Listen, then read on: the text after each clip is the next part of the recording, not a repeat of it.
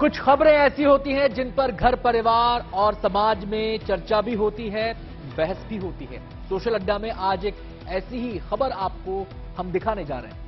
वृंदावन में विराजमान बांके बिहारी के दर्शन के लिए देश और दुनिया से लाखों की तादाद में श्रद्धालु आते हैं। बांके बिहारी की महिमा ऐसी है कि श्रद्धालु धक्का मुक्की के बीच भी उनकी एक झलक पाने के लिए उतावले रहते हैं, उत्सुक रहते हैं।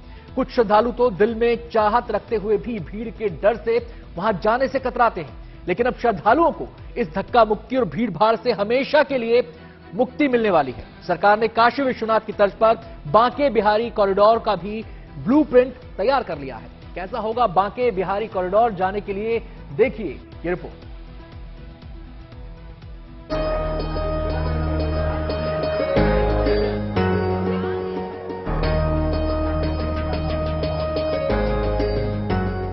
बनारस के प्राचीन काशी विश्वनाथ मंदिर के कायाकल्प के बाद, अब वृंदावन के विश्व प्रसिद्ध बांके बिहारी मंदिर के जीर्णोद्धार का प्लान तैयार हो चुका है। बांके बिहारी के आसपास की सकड़ी कुंज गलियों को अब अत्याधुनिक और मनमोहक गलियारे में तब्दील किया जाएगा। यूपी सरकार ने इसका ब्लूप्रिंट तैयार कर लिया है। जिस तरह बनारस में पवित्र गंगा नदी को कॉरिडोर के ज़रिए काशी विश्वनाथ मंदिर से जोड़ दिया गया है, उसी तरह बांके बिहारी मंदिर को भी गलियारा बनाकर कलिमल हरने कही जाने वाली यमुना नदी से जोड़ा जाएगा। बांके बिहारी कॉरिडोर पाँच एकड़ में बनाया जाएगा। प्रस्तावित प्लान के मुताबिक कॉरिडोर से मंदिर जाने के तीन रास्ते होंगे। पहला रास्ता जुगल घाट से, दूसरा रास्ता विद्यापीठ चौराहे से और तीसरा रास्ता जादौन पार्किंग से होगा। जुगल घाट से बांके बिहारी को जोड़ने वाला रास्ता 25 मीटर, विद्यापीठ चौराहे से मंदिर को जोड़ने वाला रास्ता 7 मीटर और जादौन पार्किंग से मंदिर को जोड़ने वाला रास्ता 15 मीटर चौड़ा होगा। खास बात यह है कि ये पूरा कॉरिडोर दो मंजिला होगा।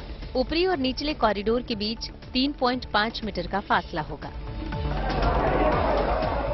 साफ़ है कि कॉरिडोर बन जाने के बाद बांके बिहार के भक्तों को भीड़ भाड़ और धक्का मुक्की से हमेशा के लिए मुक्ति मिल जाएगी।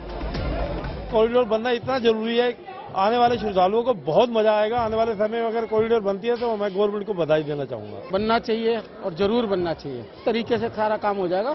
श्रद्धालु आराम से आएँगे आराम से दर्शन करेंगे। विश्व पटल पे बिहारी जी का नाम जाना जाता है। और इससे पूरे ब्रज में हर्ष है और कॉरिडोर बनना चाहिए और ब्रजवासियों में हर्ष की लहर दौड़ गई है। काबिल गौर है कि प्रस्तावित बांके बिहारी कॉरिडोर में मूल मंदिर के स्वरूप और उसके कलेवर में किसी तरह का छेड़छाड़ नहीं किया जाएगा। सरकार इसके लिए दायरे में आने वाले 321 घरों और संपत्तियों का अधिग्रहण करेगी और मालिकों को करीब 200 करोड़ रुपए का मुआवजा देगी। बांके बिहारी कॉरिडोर का काम पूरा हो जाने के बाद देश और दुनिया से आने वाले भक्तों की तमाम दुश्वारियाँ खत्म हो जाएँगी। अभी मंदिर में एक साथ सिर्फ़ 800 श्रद्धालु ही दर्शन कर पाते हैं, जबकि कॉरिडोर बनने के बाद एक साथ 5000 श्रद्धालु दर्शन कर सकेंगे। इतना ही नहीं, कॉरिडोर में श्रद्धालुओं के लिए कई सुविधाएँ भी विकसित की जाएँगी। कॉरिडोर में सामान घर, जूता घर, शौचालय के अलावा पेयजल की व्यवस्था होगी। कॉरिडोर में सरकार की ओर से मेडिकल फैसिलिटी भी दी जाएगी। बच्चों की देखभाल के लिए अलग से व्यवस्था की जाएगी। इन सब के अलावा कॉरिडोर में एक परिक्रमा मार्ग भी बनाया जाएगा। प्रस्तावित कॉरिडोर में हज़ारों वाहनों की पार्किंग की भी व्यवस्था की जा रही है। मथुरा रोड हाईवे से आने वाले श्रद्धालुओं के लिए छब्बीस हज़ार वर्ग मीटर में सुनरख में पार्किंग बनाई जा रही है। यमुना एक्सप्रेसवे से आने वाले श्रद्धालुओं के लिए सैंतीस हज़ार वर्ग मीटर में बांके बिहारी ब्रिज पार्किंग बनाई जाएगी।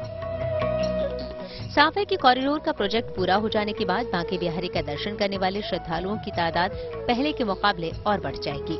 अभी जो श्रद्धालु भीड़ और धक्का मुक्की के डर से बांके बिहारी जाने से कतराते हैं, वो कॉरिडोर बन जाने के बाद धड़ल्ले से अपने आराध्य का दर्शन कर पाएँगे। Bureau report, good news today.